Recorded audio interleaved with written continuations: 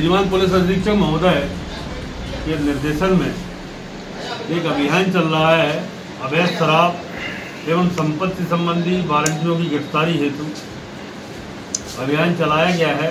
उस अभियान के तहत टीआई खाते गाँव को एक सूचना प्राप्त हुई थी कि नेवावर रोड पर अंग्रेज़ी अवैध शराब कोई एक कार में लेके जा रहे हैं जो मतलब अवैध व्यापार करने के लिए।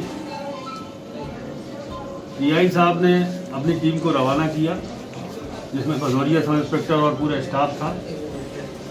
स्टाफ ने जाके वहाँ फोर्स जो गया था, उन्होंने जाके वहाँ बिना नंबर की स्विफ्ट कार पकड़ी।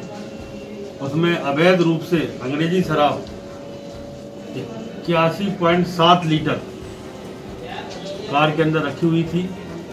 आरोपी कमलेश निवासी भीलखेड़ी और गोलू जाट निवासी भीलखेड़ी को गिरफ़्तार किया गया।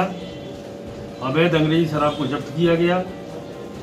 इसी दौरान और उनके विरुद्ध धारा चौंतीस दो की कार्रवाई की गई आबकारी एक्ट के तहत। इसी तारतम्य में एक दूसरी सूचना फिर मिली, टीआई साहब को कि दशहरे मैदान रोड पर भी कोई स्मगलर अवैध अंग्रेज़ी शराब लेके जा रहा है, उस सूचना पर से फोर्स के साथ जाके दबिश दी गई। तो वहाँ एक एक Tata Tiago car M P zero nine W D nine seven double one, में अवैध अंग्रेज़ी शराब करीबन तेईस लीटर, अवैध तेईस लीटर रखी पाई गई। आरोपी संजय शेखावत और लखन नायक निवासी पड़िया दही को धारा चौंतीस के तहत गिरफ़्तार किया गया।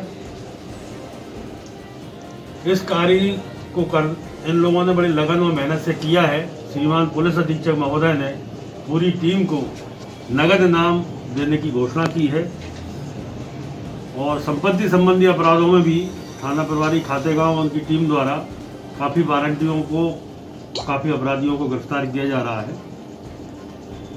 और गिरफ़्तार इनको किया गया है और उन पर बराबर नज़र रखे हुए। इसी तरह से अवैध कारोबार जो भी चल रहे हैं, चाहे वो सट्टा हो, जुआ हो, शराब हो, उस पर भी पूरा नियंत्रण थाना प्रभारी द्वारा और उनके स्टाफ के द्वारा किया जा रहा है।